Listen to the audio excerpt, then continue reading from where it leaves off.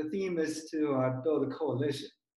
Uh, so basically, what I'm thinking is uh, right now there's a lot of uh, anti-Asian racism, and there's a lot of anger and frustration and fear, um, and especially after Andrew Yang's op-ed on Washington Post, when that came out, that really kind of split Asian Americans into two camps. You know, a lot of people are feel insulted by his by his op-ed. He's basically asking Asian Americans to be more to show more Americanness to the rest of the country, and uh, a lot of people feel oh, this is not fair. You know, we're getting victimized, and his call for action is instead of uh, condemning racism and uh, maybe find a way to to uh, address it. You know, his call to action is, hey, we need to be more red, white, and blue. You know, uh, less yellow. I guess that's the, that's his message. Then. yeah.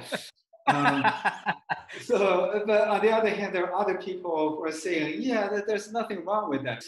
Uh, what I like the most is what uh, Judy Chu, Congresswoman Judy Chu did she actually joined hands with uh, African American and Hispanic groups to have a, a joint uh, press conference to denounce racism and build a coalition. Um, I think that's definitely the way to go because uh, I still believe that you know even even though I'm Asian American, I want to speak out against racism. Uh, we can't do this on our own. Uh, racism will only disappear in America if other races are offended by racism against Asian Americans. So that's the ultimate goal. And uh, because uh, Teja, you have worked in uh, like diversity training for like 20, 30 years, right? Yeah. What? Yeah, yeah, no, no. and also, uh, yeah, I just want to uh, introduce Teja to to uh, people who are who are new to our show. You know, Taya also is a producer, started from PBS, did a lot of documentaries there, and also then he formed a company with Mike Toe to produce a, a, lot of really uh, great videos to address a lot of social issues. Uh, I was really impressed by two videos you guys put out. one was when uh, Daniel Dae Kim quit his job from Hawaii Five-O after he found out that Asian actors were paid less than white actors. And he had the guts to actually quit. You know, that's really impressive. And you guys did a wonderful video on the subject. And the second one I'm very impressed about is uh, this video called Coughing While Asian. Uh, it already got like 4 million views on the internet, you know, and really raised a lot of awareness on this issue. So from your own experience, uh, what would be the best way to build a coalition with the rest of the country uh, to kind of combat this uh, anti-Asian racism? Yeah, I think that often what we do is we start on the back end. Mm-hmm. You know, we, we, we think that it's up to adults to make these changes. But for example, your son was in the Hawaii uh, Five Below video that we did. yes. Um, and uh, I remember having a little bit of a conversation with him about what we were doing. Uh, oh. I think while you were sleeping on one of the couches. Uh, um, the I, I, I think that when we start on the on the opposite end of it, that whole pipeline, we're, we're, we're missing a critical point that that children are very capable of understanding not only very critical issues in, in their own way, but also they often have solutions that we haven't thought about. So I think that when we think about, yeah, I think building a coalition, I think we should think much more broadly, like not just intelligent P, uh, adults, you know, with PhDs, uh, but also um, everybody. Let, us all put our minds to this and figure out how to address these issues for all ages and all people. Mm-hmm. so like uh, from your experience what would be the the quickest way to let people know that there is racism against asians and uh, we should uh, speak up and uh, let people know because i know yeah. you did a lot of training all over the country right Yeah. So, So for about 30 questions do people, people ask you? Yeah.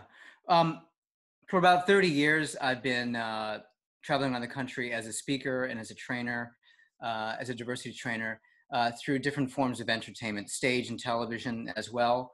Um, I'm also a producer and uh, director at IBIS Consulting Group. So we do B2B uh, uh, corporate uh, events and, and trainings Mhm. um, on these particular issues. Uh, racial equity, we're focusing on now with some pretty large uh, corporations uh, worldwide, Mhm. um, and also the work that I do with Mike Toe. So we, we're reaching sort of this large of populations of people around the world addressing these issues, particularly now.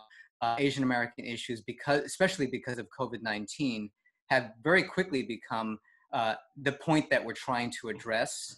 And for example, I had a conversation with my daughter, um, who is Chinese American, and her two friends, um, who are also the same, and they were both telling about their their own experiences uh, in the world. My daughter used to work at a uh, worked at a Starbucks, um, and she she had some comments made to her that were very concerning. And so I talked to uh, them about you know how to address this, how, how to address it in real time, Mhm. but also um, being very realistic about what the consequences are.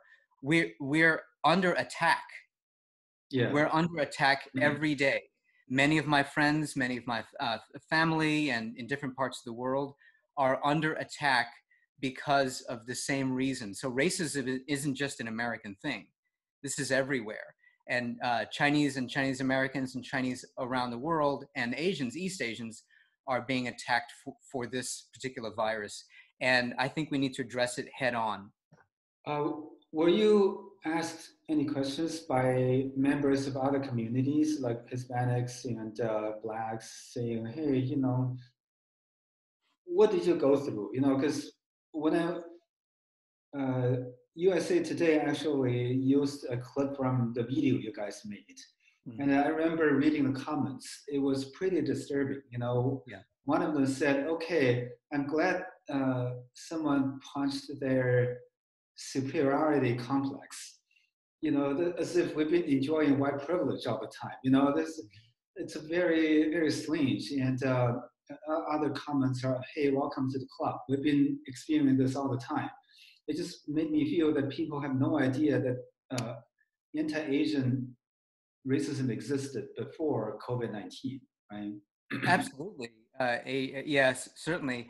Um, and I think also uh, racism in general uh, has been very much part of American history, uh, Mhm. particularly for Asian Americans, East Asians, Japanese, of course, World War II, uh, Chinese Exclusionary Act, and all that. The, the, those are very prominent times in our history that is not taught in schools. This goes back to the, the other side of the pipeline. Yeah. So we're not we're not teaching children real history. Oh yeah, but that's that reminds me. You know, my son's going to a really good school here in California, so they taught uh, the Holocaust and uh, the emancipation, but then for diversity's sake, his school is one of the few schools in the country actually talked about Asian Americans. But what they, they were taught is, is a cartoon book. Right. And it didn't mention the, the Exclusion Act or the Japanese internment camps. None of those. So I just feel that we probably need to have a like petition, you know, just to tell schools, hey, you know, this is part of the American fabric. Uh, we really need to let kids know about this. It's not it's it, it's the schools, but actually it goes deeper than that. It's the districts, it's the school systems, it's the Mhm. Department of Education, United. States. It comes down from federal level and it's the state level and the local level. So it's not Oh. even the teachers and the schools that Yeah. we have a fundamental problem in this country, and that is owning up our own particular issues and our racism in whatever form it is and saying yes this is this was a bad thing let's talk about it and let's teach children what really happened because by the time they become adults they, they're already uh, clueless about what really happened so when it comes to the point where we blame someone else that's easy yeah, that's easy to do yeah, yeah. racism is child abuse that's how what i always say if you teach a child to treat other people because they're they look different, that is child abuse. It's mental child abuse. And if children are learning today that COVID 19 is an Asian or a Chinese virus, that is racism and it is child abuse, period. Uh, hearing you say that phrase made my day.